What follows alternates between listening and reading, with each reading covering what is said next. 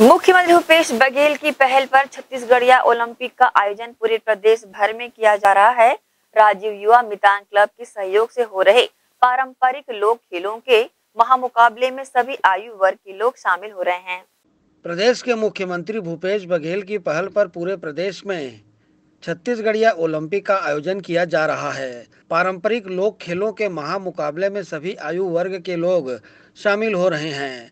इसी के तहत नगर निगम रिसाली क्षेत्र अंतर्गत क्षेत्रीय विधायक एवं प्रदेश के गृह मंत्री ताम्रध्वज साहू, प्रदेश कांग्रेस कमेटी के महामंत्री जितेंद्र साहू के नेतृत्व में छत्तीसगढ़िया ओलंपिक का आयोजन किया जा रहा है।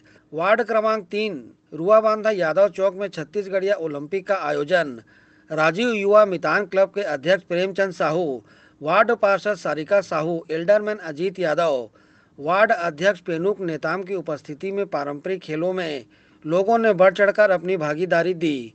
यहाँ कबड्डी खो खो रस्सा कशी सौ मीटर दौड़, संकली, पिट्टुल गेड़ी भवरा, कंची आदि खेलों में लोगों ने अपनी भागीदारी दी। साथ ही छत्तीसगढ़िया ओलंपिक के लिए प्रदेश सरकार का आभार जताया। ग्रैंड एशियन न्यूज़ के लिए संजय दुबे।